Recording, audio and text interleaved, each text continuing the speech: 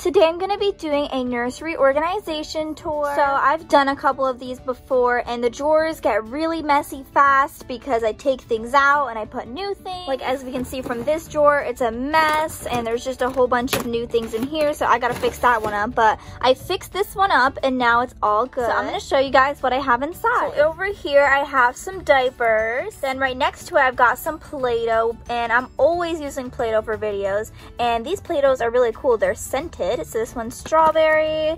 We got this one that's scented blueberry. And I even have more Play-Doh back here. Then I have some of these Velcro foods from Dollar Tree. They're really cool. You can actually take them apart and put them back together. So these are really good for videos. I got a strawberry, a carrot, and a broccoli. Then I just got a bunch of hairbrushes for the dolls so I can fix their hair. Bottles, of course. I have two right here and I have three more over here. I use these a lot. Utensils, of course, for feeding. This one's actually magnetic. That's why it's sticking to this one. We got spoons, forks, and knives. I've got this little Baby Alive oven that I like to pretend cook things in here.